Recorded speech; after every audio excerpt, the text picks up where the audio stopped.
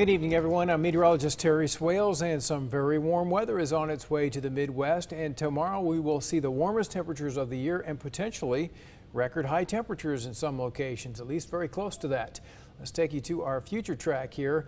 And tonight, one of the things we'll be watching is a warm front. And at 9 o'clock, that should be stretched out just to the south of the Quad Cities. And there may be some isolated showers and thunderstorms developing after sunset as the low-level jet stream kicks in here. That's a typical feature after dark. And that could generate these showers and storms that would primarily occur along and north of Interstate 80. So we'll put a little chance in there during the nighttime hours, especially in the north.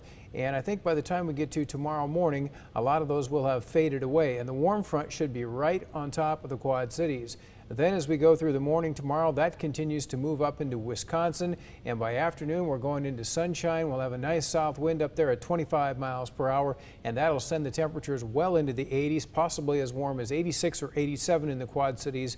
The record high is 88 tomorrow, and that was set in 1965. We should give that a good run. There'll also be a little humidity in the air, too, so a much more summer-like feel to the air around eastern Iowa and western Illinois. With that in mind, tonight's forecast does call for mostly cloudy skies and a chance of a shower or thunderstorm, especially later on and primarily north of Interstate 80, 58 the low temperature. And for tomorrow then, becoming mostly sunny by the afternoon and warm, a near record high of possibility, and we'll see if we can't get it to 87 degrees.